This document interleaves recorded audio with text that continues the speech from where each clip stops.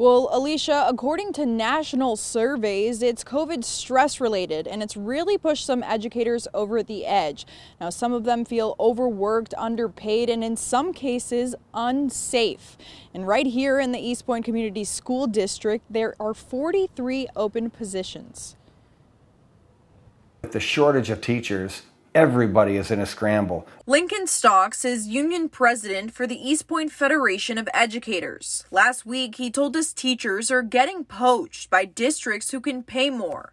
Staffing wise, it's filling one hole and leaving another, and oftentimes in a less financially sound district. We realize that there's a crisis here, and we're going to do our best to address that crisis, but we also can't, um, you know, we, we can't destroy the economic viability of the district. On the week of September 20th, two teachers at Eastpointe Middle School just up and quit without giving any notice. The district's website clearly showing the problem has been brewing for some time.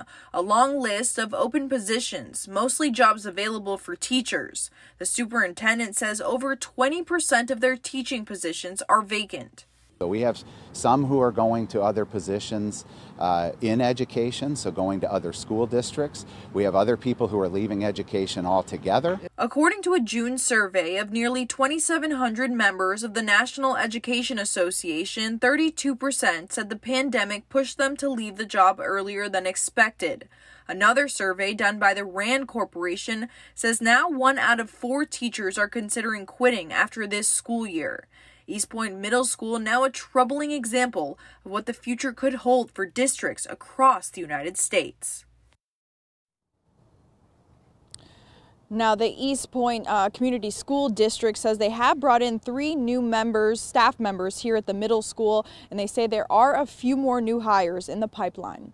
Live in Eastpointe, I'm Alex Bozarjian, 7 Action News.